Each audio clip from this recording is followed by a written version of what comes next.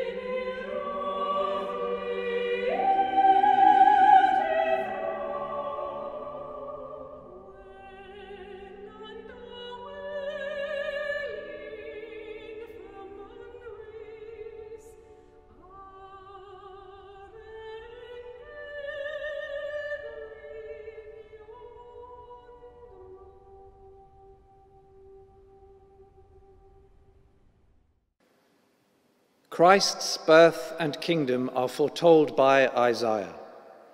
The people that walked in darkness have seen a great light. They that dwell in the land of the shadow of death, upon them hath the light shined. For unto us a child is born, unto us a son is given, and the government shall be upon his shoulder and his name shall be called Wonderful, Counselor, the Mighty God, the Everlasting Father, the Prince of Peace. Of the increase of his government and peace there shall be no end upon the throne of David and upon his kingdom, to order it and to establish it with judgment and with justice from henceforth, even forever. The zeal of the Lord of hosts will perform this. Thanks be to God.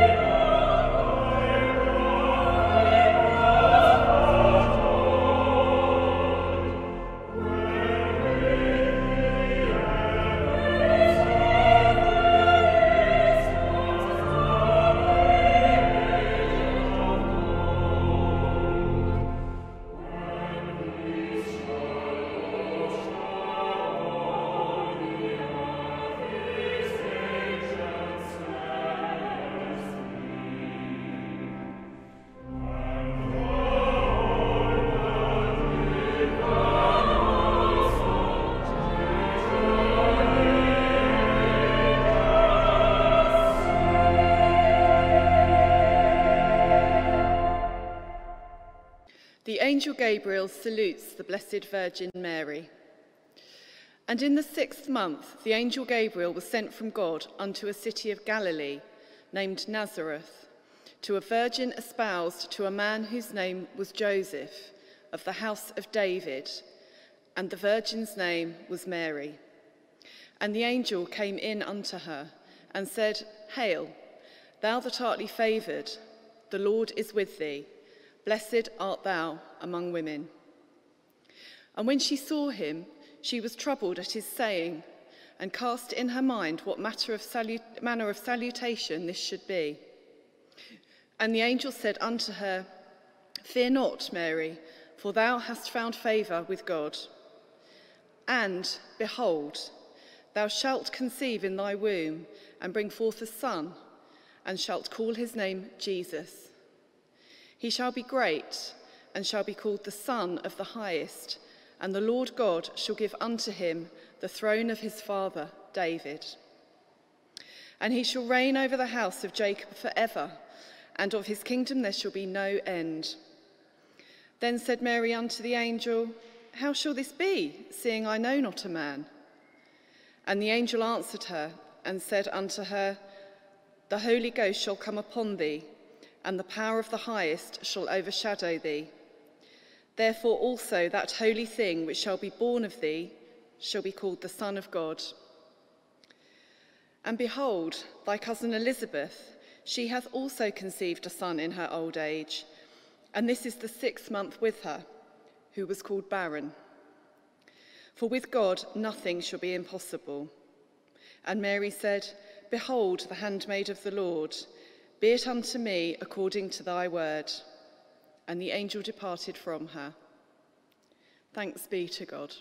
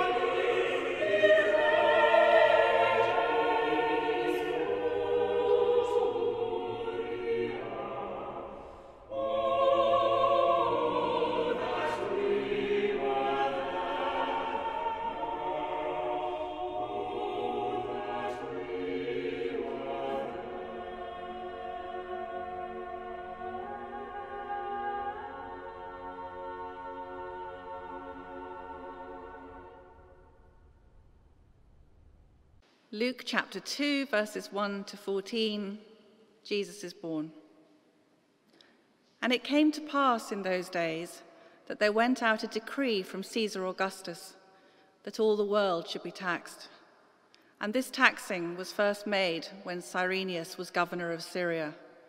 And all went to be taxed, every one into his own city. And Joseph also went up from Galilee out of the city of Nazareth into Judea, unto the city of David, which is called Bethlehem, because he was of the house and lineage of David, to be taxed with Mary, his espoused wife, being great with child. And so it was that while they were there, the days were accomplished that she should be delivered. And she brought forth her firstborn son, and wrapped him in swaddling clothes, and laid him in a manger because there was no room for them in the inn. And there were in the same country shepherds abiding in the fields, keeping watch over their flock by night. And lo, the angel of the Lord came upon them, and the glory of the Lord shone around them, and they were sore afraid. And the angel said unto them, Fear not, for behold, I bring you good tidings of great joy which shall be to all people. For unto you is born this day in the city of David a Saviour, which is Christ the Lord. And this shall be a sign unto you. Ye shall find the babe wrapped in swaddling clothes, lying in a manger. And suddenly there was with the angel a multitude of the heavenly host, praising God and saying, Glory to God in the highest and on earth peace, goodwill toward men. Thanks be to God.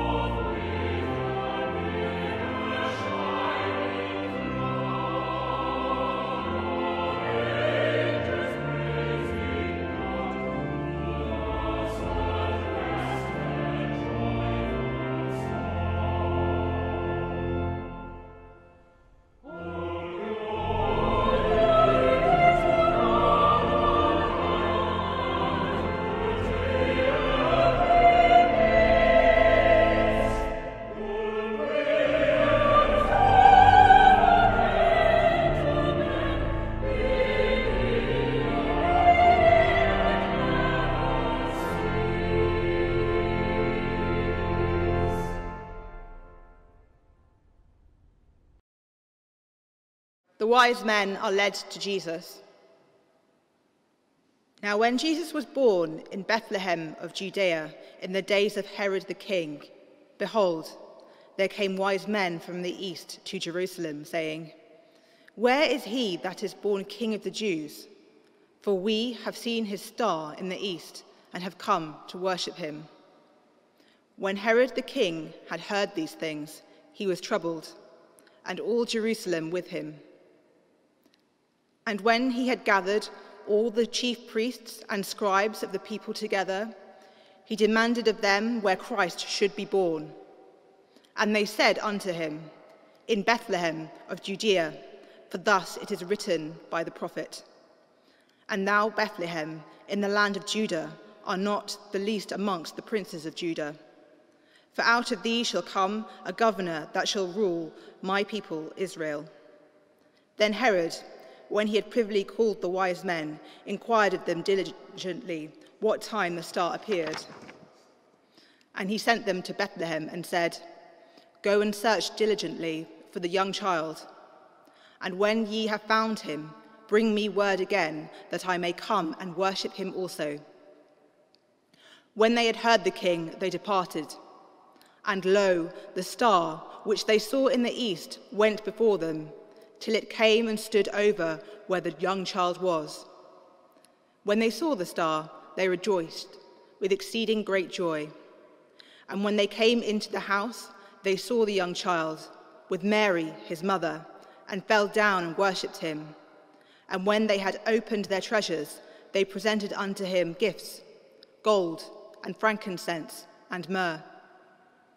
And being warned of God in a dream that they should not return to Herod, they departed into their own country another way. Thanks be to God.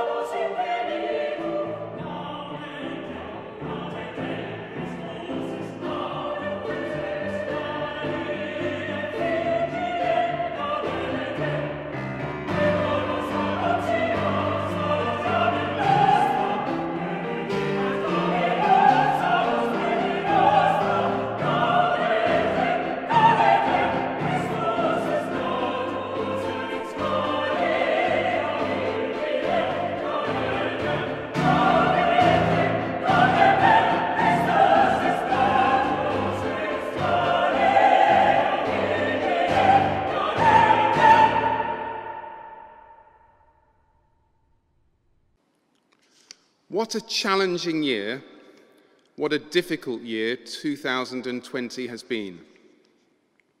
So many people have lost their lives, so many have lost their jobs, so many have been left isolated and lonely because of COVID 19. So much suffering and sadness across the whole country. There really hasn't been a year quite like it. But it has also been a year of great celebration and gratitude. It has been a time when we have given our deep thanks to those people who came to our rescue when we needed it, and indeed are still doing so. Many of us have appreciated, like never before, the help of professionals and volunteers working in the health service and charity sectors.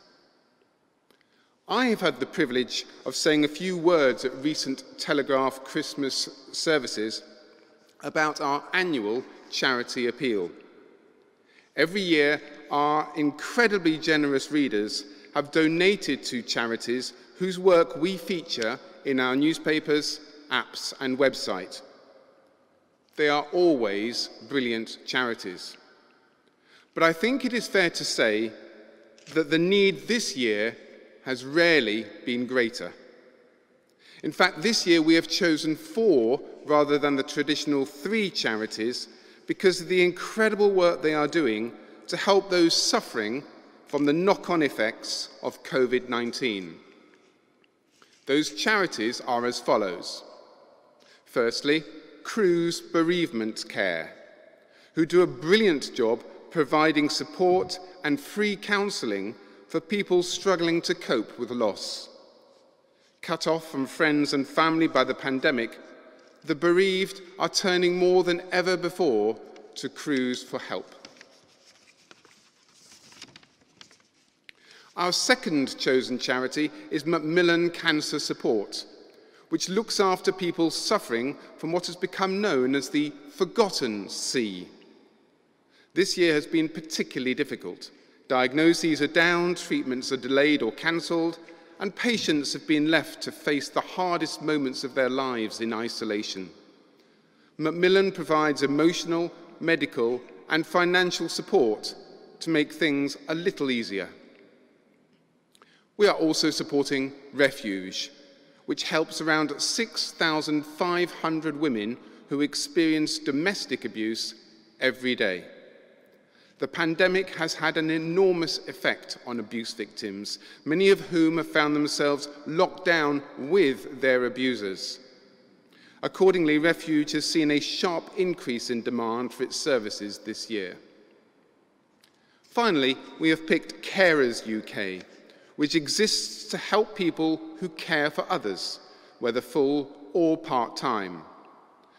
Non professional carers have been severely affected by COVID 19, often juggling demanding working lives, made more precarious by the pandemic, with the demands of looking after ill or disabled loved ones.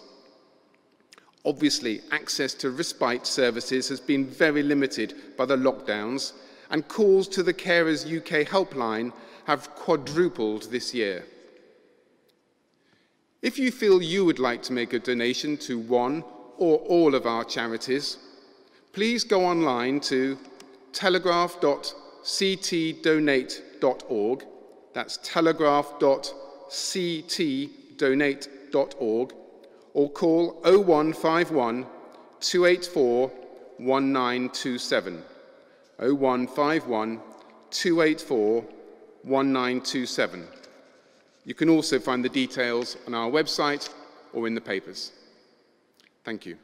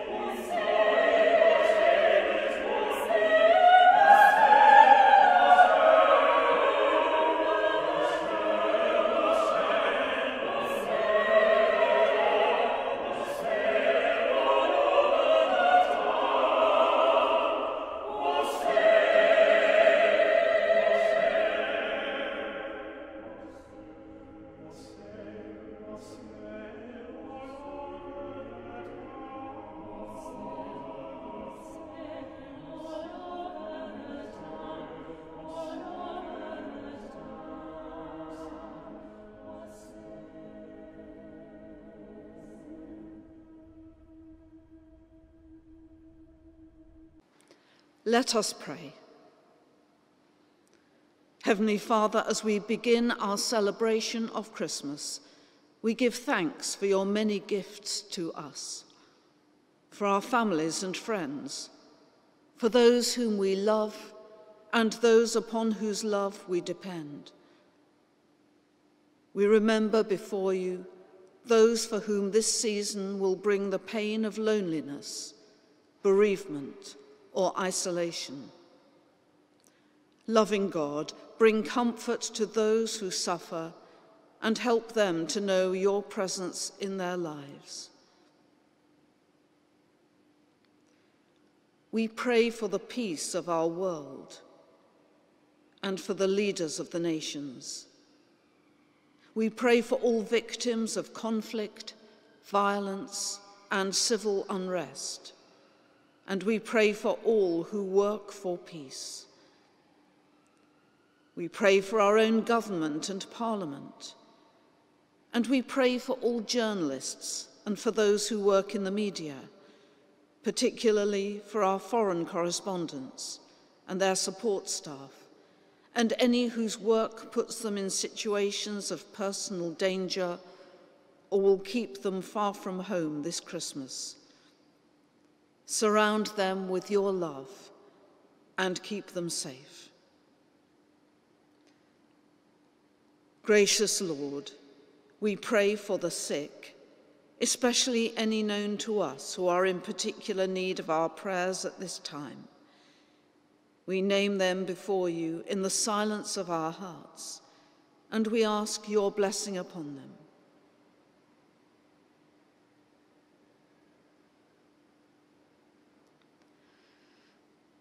Christ, born in a stable, give courage to all who are homeless. Christ, for whom the angels sang, give the song of the kingdom to all who weep. Christ, worshipped by the shepherds, give peace on earth to all who are oppressed. Christ, before whom the wise men knelt, give humility and wisdom to all who govern. Christ, whose radiance filled a lowly manger, give the glory of your resurrection to all who rest in you. Lord of life, hear our prayer and grant us your joy, your hope, and your peace this Christmas tide. In Jesus' name we pray. Amen. And now, if it is your tradition, you may wish to join me in the words of the Lord's Prayer. Our Father, who art in heaven, hallowed be thy name. Thy kingdom come, thy will be done, on earth as it is in heaven. Give us this day our daily bread, and forgive us our trespasses, as we forgive those who trespass against us and lead us not into temptation, but deliver us from evil. For thine is the kingdom, the power, and the glory, for ever and ever. Amen.